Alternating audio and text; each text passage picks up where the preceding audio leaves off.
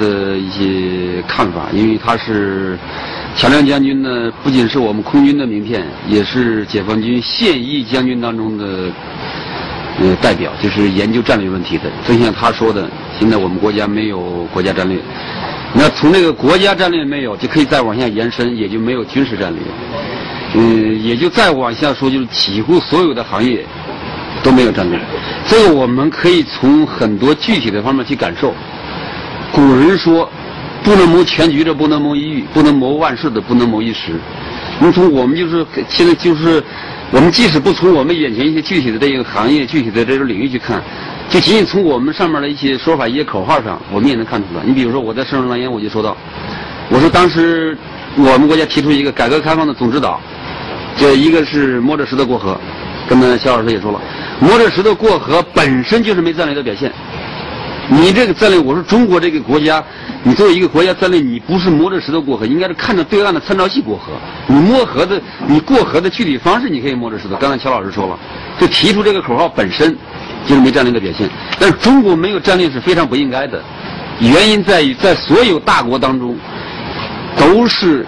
已经改革这个崛起的都已经成功了，还有一些是正在崛起，那么他们才是摸着石头过河。像巴西、像印度，他们是摸着石头。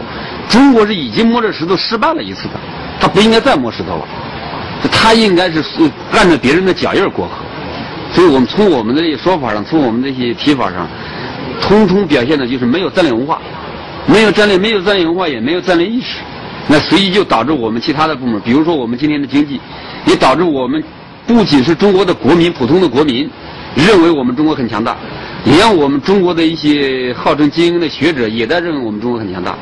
前不久，社科院就公布了一个中国军力报告，认为中国是呃军力世界第二，综合国力世界第七。就这两个东西，他就没搞清楚军力与国力什么关系。国力是世界第七，怎么军力可能是世界第二呢？军力就是穿着军装的国力。对不对？你的国力穿上军装，你你就是军力嘛？你的地心怎么能变成第二呢？就他这种评价就反映了一个，就是我们目前这些人他的评价体系是盲目的。他这个盲目来源于根本上来说，就是我们国家根本就没有战略。再说我们的这些学者，前不久，国际关系学院的院长王继思，北京大学国际关系学院的呃不，北京大学国际关系学院的院长王继思和咱们国际关系学院的院长崔丽如。是我们国际关系学界应该算最有最有名望的人，也在那说说我们 GDP 现在是这个世界第二，我们和美国就是是这个世界第一强国和第二强国的关系，所以我后来就写了一篇长文反击这个观点。我说 GDP 不是大国的标志，按照一个一个世界最著名一个经济学家的一个他的分析，我们 GDP 在清朝以前中国 GDP。一直在世界第一，两千年来一直保持世界第一。那两千年前的事咱们就不说了。在清朝你是世界第一，这个第一到什么程度呢？相当于今天的美国，占世界百分之三十三，三分之一。那你占世界三分之一的时候，英国才占，当时占多少呢？一八一八四零年的时候，英国占百分之五。那我就给他提出一个疑问：为什么中国的 GDP 比英国多六倍？中国不去瓜分英国，而被英国瓜分了？这是一个问题。第二，一八九四年。中国的 GDP 是日本的五倍，比日本多五倍。那你为什么不不把日本打败，把琉球拿回来？你反而被他打败了。这个时候 GDP 与大国之间到底是什么关系？这些问题他们通通回答不上来，就知道闷着头说 GDP，GDP。说这个东西根本没有任何根据，盲目的认为自己是大国，这是一个问题。第二个问题，认为我们现在是一个外汇的大国，我们这现在有多少多少外汇？完全不知道，我们这个外汇已经是完全被置于无用之地，完全变成了一堆废纸。就在其在其他的一些这种演讲当中和在一些文章当中，我就说说这个问题。我们这个外汇就是改革开放三十年的成果，已经全部被美国并吞了。不要说现在在美国这边拿着我们这个外汇任意贬值，想怎么样怎么样，这个外汇这个本金都收不回来。如果我们把它比喻为一个国家的一些比喻为。在今天，刚才乔阳老师讲的非常好。我们今天不应该再从这个地缘那个角度考虑问题，但是我们可以把它把所有的问题，把国家给它拟人化，因为人是活在时间和空间当中，国家也是一样。拿破仑说过，所谓战略不过就是时间和空间的艺术，所以我们要在这个时间和空间这个这样一个坐标上，一个定位把中国的国家和它拟人化。你现在今天大家当然了不用军队在打仗，但是你的外汇就等于你国家的兵力。美国也是在用它的经济力量，在用它的技术力量征服全世界。反过来说，那我们今天呢？我们中国的金融呢？等于我们庞大的一支外汇大军被美国全部歼灭，而且不仅是歼灭，整体俘虏。美国就在用今天美国用在我用我们中国的钱，再到中国来收购中国的企业，控制中国的农业，控制中国的这个银行，控制中国的方方面面，二十八个行业控制中国的二十一个，再用你的钱控制你这个国家。那反过来，我们再用这个钱，我们做什么？他来他用他的钱进入我们的股市，进入我们的房市，翻炒，然后再打击中国人民的财富，这才是战争。战争不只是都用军队，说这一点，乔阳老师要不说，他这个伟大就伟大在这里，他就用一个朝鲜战，朝鲜战告诉大家，战争不一定要用军队来进行，不一定要通过军事，不一定都是军事，军事就按孙子说的上兵伐谋，最后一个阶段，第四个阶段，才动军队。所以我们在现在还理解，就是这个大国之间没有战争，没有战争，战争天天都在进行，怎么会没有战争呢？没有战争，苏联是怎么解体的？对不对？战争不一定就得就得开枪，开枪是最没有用的战争，那是最后一个象征性的。不好意思，把他这个，我们要用更宏观的思维、更宏观的视野，呃，来思考这个国家的问题。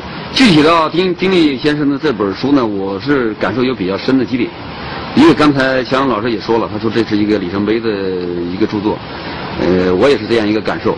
在乔元老师写完这个中国军事战略当中的一个里程碑著作以后，这样我就看到一个地缘政治方面的一个里程碑的一个东西。说它是里程碑，并不是说在它之前呢，就是说，呃，不只是说它的这个理论的高度。我主要觉得它打破了一个学术的禁区。这个学术的禁区就是说，改变了我们目前学术理论只能由学术中人，所以由他们来写的这样一个现状。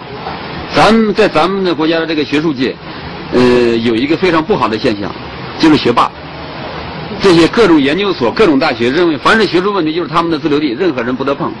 那你在这个地方，如果你要也涉及这个学术领域的问题，他一律以你非正统、非主流，一句话就给你隔离开了，不与你讨论。那就是在他们以前这个我参加过的他们所谓的正统的这些会议上，我几乎没有听到过什么像样的观点。给我的总体上感觉就是在我们这个学术界，嗯，弥漫的你听到的也好，你看到的也好，大部分全是空话，全是套话，就是总体来说都不是人话。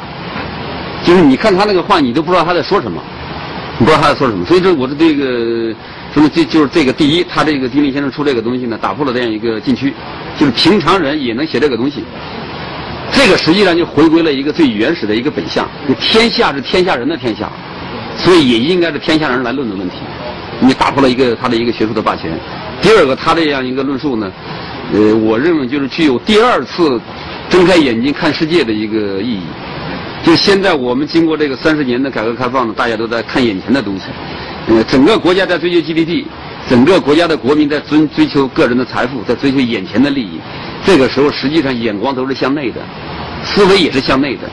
嗯，这样就是由这些国家没有战略，导致这种国家发展的这个盲目性，再加上学者在这里边也不思进取，所以说也在这处在这样一个乱乱局当中，把这个民间搞得更乱。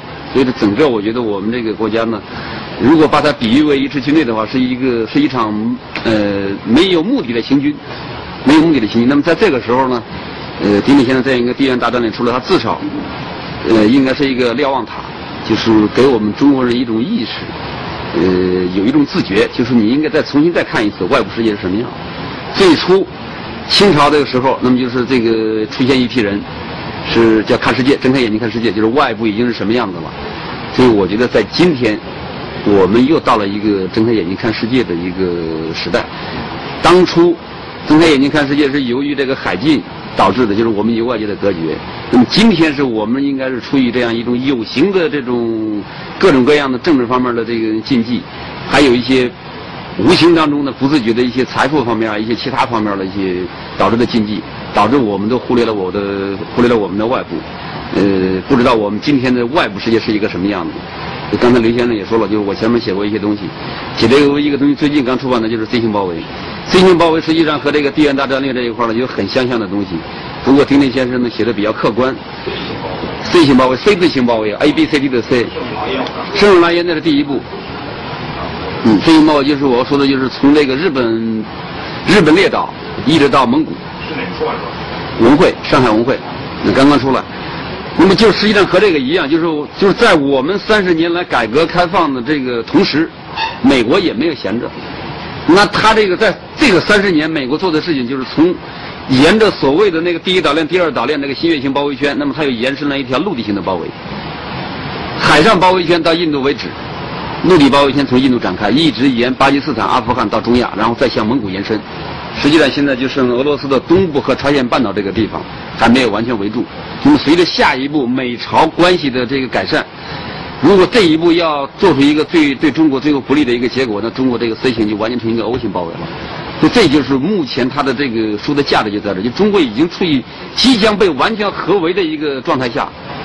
在这样的时候，就是我们现在很多的学者，我们很多的国民还在做什么大国的梦？我认为他们在做梦。这是一种幻觉，就像这种幻觉在我们这个中社科院去评述出这个世界第二的这种感觉一样，像我们很多著名的学者也在说中国 GDP 大是大国就是大国一样，这完全就是一种幻觉，是回光返照，历史的回光返照。就在这个时候，到底中国是一个什么样的国家？